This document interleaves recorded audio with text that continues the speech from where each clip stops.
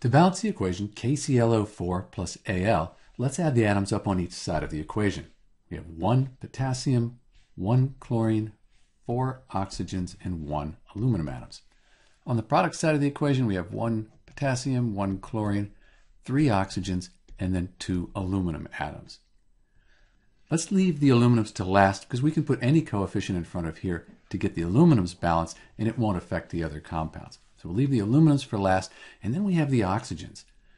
So often when I have an odd number, I'll double it to get it to be an even number, but that would just give me 6, and I'd still have a problem balancing the oxygens. So I'm going to do a little trick here. I'm going to flip these numbers. So the 3 here for the oxygen, I'm going to put that in front of the KClO4, and then the 4 for the oxygen, I'll put that in front of the aluminum oxide.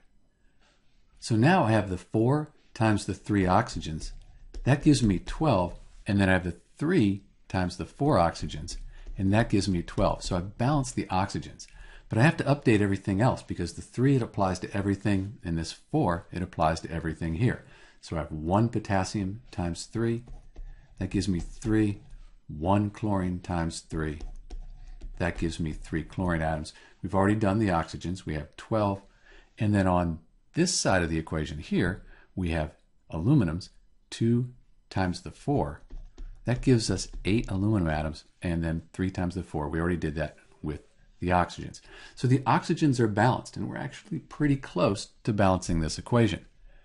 Let's fix the potassiums here, and that should fix the chlorines too, because we have 3 potassiums on this side, just 1 here, 3 chlorines, just 1 here. So we'll put a coefficient of 3 in front of the KCl. 1 times 3, those are balanced. Chlorines, 1 times the 3. Those are balanced. And then we have 8 aluminums and 1 here.